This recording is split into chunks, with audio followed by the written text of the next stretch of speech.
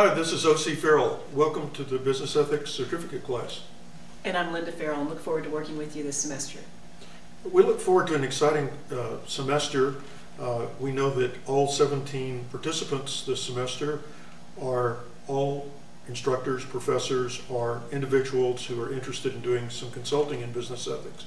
And we look forward to exploring the differences in opinions. Uh, we are welcome you to engage on a weekly basis to challenge what we're saying, to amplify what we're saying, and just get involved.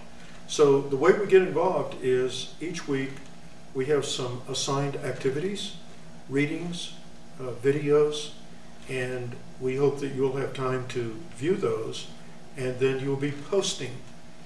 And when you post, uh, you can give us your, re your reaction to what you have read or what we've, we try to also ask questions that would stimulate uh, learning between the different participants. So feel free to recognize that your opinion counts and it will help build a strong course. Uh, this is as much about the participants as it is the content that we're involved with. And we also look for new resources and new ways and ideas that can be integrated within the classroom. Uh, examples, topics, what's working and what's not. And one of the things we're most excited about this semester is we're introducing ethical leadership certification for students from the National Association of State Boards of Accountancy's Center for Public Trust. This is the first program of its type. It's going to be six modules online. The students complete one module delivered through BrainShark with voiceover PowerPoint, polling questions, very engagement oriented. They take an exam after it, then they go on to module two.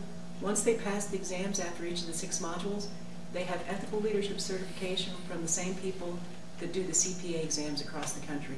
So we're very excited about this and the opportunity for this to be made available to students uh, across the country. So we'll share more about you with you about this as it becomes available. And I think one thing to remember is that we all are learning how to do a better job in teaching business ethics. And of all of the different subject matter that is studied in business schools, uh, business ethics probably is the less uh, consistent in terms of here's a book and this is the way everyone does it.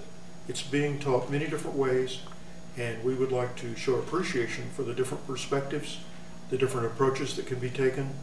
Uh, but as you go through this experience with the, the certificate course, we're hoping, as Linda just mentioned, that we're, we're all sharing what we know and, in the type of resources we have.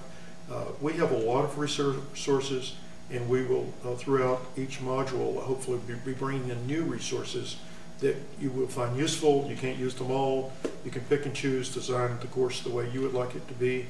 Uh, if you're not in the education arena right now, I think you'll learn a lot from what we're talking about because we're really focused on more applied, managerial, real-world ethics, the type of situations that our students will face when they take their first job. And of course, we're big crusaders for the importance of business ethics, the fact that it's just as important, important as knowing things in the areas of finance and marketing and management information systems. Uh, because if you fail in ethical decision making, you're probably going to fail at everything else you do.